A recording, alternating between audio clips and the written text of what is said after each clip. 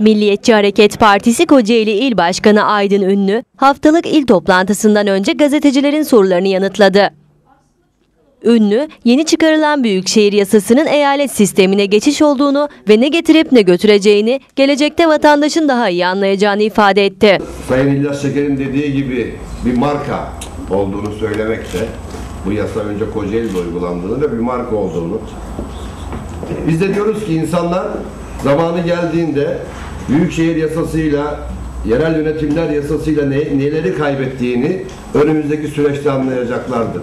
Bugün özel idarenin kapanması, il genel meclis üyelerinin lavı önümüzdeki süreçte neler getirilecek ve bu kanun içinde neler önümüze çıkacak süreçte bunu göreceğiz. Siyasiler kanunun maddelerini bilmeden beyanat yapmaktadırlar. İyi bir şey oldu. Ünlü, TC tabelasını takmayan Fatih, Doğan, Hatipköy, Kocatepe, Hacı Hızır ve Veli Ahmet mahalle muhtarları ile ilgili suç duyurusunda bulunduklarını belirtti. Tabelasına TC tabelası taktırmayan Fatih Mahallesi, Doğan Mahallesi, Hatipköy, Hacı Hızır, Kocatepe ve Veli Ahmet mahalle muhtarları savcılığa niçin Türkiye Cumhuriyeti tabelasını takmadıklarının ifadesini vereceklerdir.